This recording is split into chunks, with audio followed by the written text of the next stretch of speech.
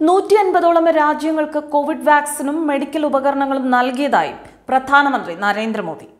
India നിർമ്മിച്ച Covid വാക്സിനുകൾ അൻപത് രാജ്യങ്ങൾക്ക് നൽകിയിട്ടുണ്ടെന്നും പാരീസ് ഉടമ്പടി പ്രകാരം മുന്നോട്ടു പോകുവാൻ പ്രതിജ്ഞാബദ്ധരാണെന്നും സ്വീഡൻ പ്രധാനമന്ത്രി സ്റ്റീഫൻ ലോഫ്വെനുമായി നടത്തിയ വെർച്വൽ ഉച്ചകോടിയിൽ പ്രധാനമന്ത്രി പറഞ്ഞു. അന്താരാഷ്ട്ര തലത്തിൽ രാജ്യങ്ങൾ തമ്മിലുള്ള സഹകരണം വർദ്ധിപ്പിക്കേണ്ടതിന്റെ ആവശ്യകത കോവിഡ് കാലത്ത് ബോധ്യപ്പെട്ടു. ലോകം മഹാമാരിയുമായി പോരാട്ടത്തിൽ ഏർപ്പെടുന്ന വേളയിൽ ഇന്ത്യ നൂറ്റി അൻപത് രാജ്യങ്ങൾക്ക് മരുന്നുകളും മെഡിക്കൽ ഉപകരണങ്ങളും എത്തിച്ചു നൽകി.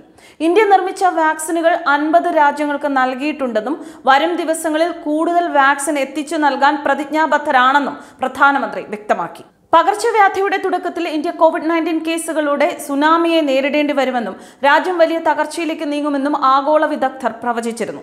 ചില വിദഗ്ധർ ഏഴ് മുതൽ എട്ട് ദശലക്ഷം കോവിഡ് കേസുകൾ പറഞ്ഞപ്പോൾ മറ്റുള്ളവർ അതിലും കൂടുതൽ പറഞ്ഞുവെന്നും പ്രധാനമന്ത്രി മോദി പറഞ്ഞു. പക്ഷേ പൊതുപങ്കാളിത്തവും സാങ്കേതിക വിദ്യയും പരീക്ഷണങ്ങളും ഉപയോഗിച്ചുകൊണ്ട് കോവിഡ് നയന്റീനെതിരായ പോരാട്ടത്തെ ഒരു ബഹുജന പ്രസ്ഥാനമാക്കി മാറ്റാൻ ഇന്ത്യയ്ക്ക് കഴിഞ്ഞുവെന്നും നരേന്ദ്രമോദി പറഞ്ഞു. ഇന്ന് ഇന്ത്യയിൽ കോവിഡ് കേസുകൾ അതിവേഗം കുറയുന്നുവെന്നും പ്രധാനമന്ത്രി മോദി ആഗോളവേദിയിൽ പറഞ്ഞു. ലോക ജനസംഖ്യയുടെ പതിനെട്ട് ശതമാനം ഇവിടെ താമസിക്കുന്നതിനാൽ ഇന്ത്യയുടെ സ്ഥിതിവിവര കണക്കുകൾ ഒരു രാജ്യവുമായി താരതമ്യം ചെയ്യാൻ കഴിയുകയില്ല. എന്നിട്ടും ഞങ്ങൾ ഞങ്ങളുടെ പ്രശ്നങ്ങൾ പരിഹരിക്കുക മാത്രമല്ല പകർച്ചവ്യാധിയെ നേരിടാൻ ലോകത്തെ സഹായിക്കുകയും ചെയ്തുവെന്നും പ്രധാനമന്ത്രി നരേന്ദ്രമോദി പറഞ്ഞു. ഈ ദുഷ്കരമായ സമയങ്ങളിൽ ഇന്ത്യ തുടക്കം മുതൽ ആഗോള ഉത്തരവാദിത്തം ഏറ്റെടുക്കുകയായിരുന്നു. പല രാജ്യങ്ങളിലും വ്യോമാതിർത്തി അടച്ചപ്പോൾ ഇന്ത്യ ഒരു ലക്ഷത്തിലധികം പൗരന്മാരെ അവരുടെ രാജ്യങ്ങളിലേക്ക് കൊണ്ടുപോയി.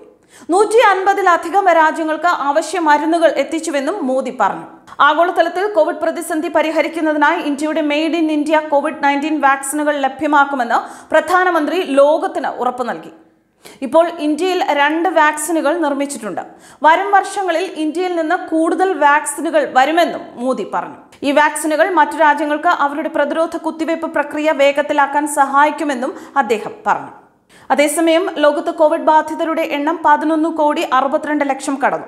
നാല് ലക്ഷത്തിലധികം പേർക്കാണ് കഴിഞ്ഞ ദിവസം വൈറസ് ബാധ സ്ഥിരീകരിച്ചത്. ഒൻപത് കോടി പതിനെട്ട് ലക്ഷം പേർ രോഗമുക്തി നേടി. മരണസംഖ്യ ഇരുപത്തിയഞ്ച് ദശാംശം എട്ട് പൂജ്യം ലക്ഷമായി ഉയർന്നു. ഇന്ത്യയിൽ ഒരു കോടി പതിനൊന്ന് ലക്ഷം കോവിഡ് ബാധിതരാണുള്ളത്. പതിനാറായിരത്തിലധികം പുതിയ കേസുകൾ റിപ്പോർട്ട് ചെയ്തു.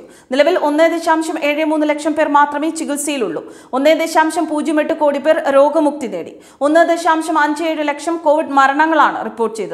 രാജ്യത്ത് വാക്സിനേഷൻ പുരോഗമിക്കുകയാണ്. ഇതുവരെ ഒന്നര കോടിയിലേറെ പേർക്കാണ് കുത്തിവയ്പ്പെടുത്തത് രോഗബാധിതരുടെ എണ്ണത്തിൽ അമേരിക്ക മാത്രമാണ് ഇന്ത്യയ്ക്ക് മുന്നിലുള്ളത്.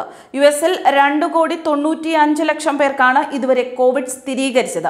അഞ്ച് ദശാംശം മൂന്ന് മൂന്ന് ലക്ഷം പേർ മരിച്ചു. രോഗികളുടെ എണ്ണത്തിൽ മൂന്നാം സ്ഥാനത്തുള്ള ബ്രസീലിലും ഒരു കോടിയിലേറെ പേർക്കാണ് കോവിഡ് സ്ഥിരീകരിച്ചത്. രണ്ട് ദശാംശം ആറ് ഒന്ന് ലക്ഷം പേർ മരിച്ചു. അതിനിടെ കോവിഡ് വാക്സിനേഷൻ കേന്ദ്രങ്ങളിലെ തിരക്ക് നിയന്ത്രിക്കാൻ നടപടിയുമായി കേരളത്തിൽ ആരോഗ്യ വകുപ്പ് രംഗത്തെത്തി.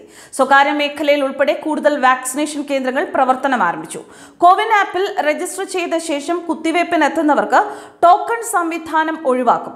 കൂടാതെ കോവിൻ ആപ്പിൽ അടുത്ത പതിനഞ്ച് ദിവസത്തേക്ക് ബുക്കിംഗ് നടത്താനുള്ള സംവിധാനം സജ്ജമാക്കും. വാക്സിൻ കേന്ദ്രങ്ങളിൽ എത്തിയ പലർക്കും തിരക്ക് മൂലം കുത്തിവയ്പ് എടുക്കാൻ സാധിക്കാതെ മടങ്ങേണ്ടി വന്നിരുന്നു. ഈ സാഹചര്യത്തിലാണ് സർക്കാർ നടപടി. തിരുവനന്തപുരം മെഡിക്കൽ കോളേജ് ജനറൽ ആശുപത്രി പാങ്ങപ്പാറ ഹെൽത്ത് സെന്റർ എന്നിവിടങ്ങളിൽ ഒരാഴ്ചത്തേക്ക് പുതിയ രജിസ്ട്രേഷൻ നൽകില്ല. ടോക്കൺ നൽകിയവർക്ക് ആദ്യ ഡോസ് നൽകി കഴിയുന്ന മുറയ്ക്കാകും പുതിയ രജിസ്ട്രേഷൻ നടത്തുക. News desk കർമാനൂസ്